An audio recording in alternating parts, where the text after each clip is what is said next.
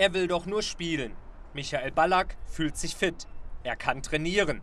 Und er macht dies mit sichtlich viel Freude. Im Europa League-Spiel von Bayer Leverkusen gegen den FC Villarreal wird der Weltstar aber erneut nicht im Aufgebot stehen. Trainer Jupp Heinkes erklärt wieso. Gibt es so viele Beispiele in der Bundesliga oder im internationalen Fußball, wo Spieler lange verletzt waren und äh, die dann auch die gleiche Zeit wieder gebraucht haben, um fit zu werden, um, um, um auch wieder in Höchstform zu kommen.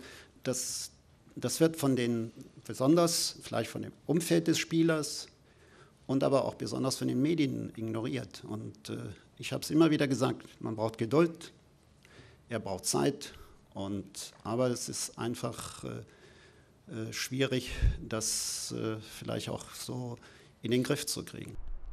Dabei sorgt Heinkes vor dem Spiel am Donnerstag unfreiwillig selbst für Unruhe. Die angeblich sichere Vertragsverlängerung ist nämlich noch nicht erfolgt. Und nun fragen sich alle, was läuft denn da mit den Bayern? Die Profis sind verunsichert.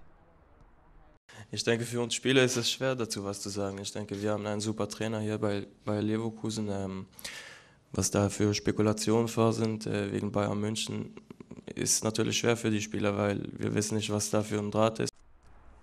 Leverkusen hat laut Geschäftsführer Wolfgang Holzhäuser auch schon einen Plan B in der Tasche, um für Heinkes Abgang gewappnet zu sein. Aber wann fällt denn nun die Entscheidung? Ja, ich habe vorhin geäußert, dass wir jetzt vier Spiele oder sehr vier wichtige Spiele haben und äh, ja, wir sind, wir haben es so verständigt, dass wir nach Schalke uns nochmal zusammensetzen und dann äh, um eine Entscheidung ringen und dann auch letztendlich bekannt geben. Nach einer Entscheidung ringen? Das klingt ja nach richtig harten Verhandlungen. Ja, habe ich das gesagt.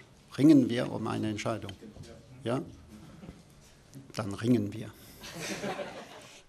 Ah ja, man darf also gespannt sein. Bayern oder Bayer.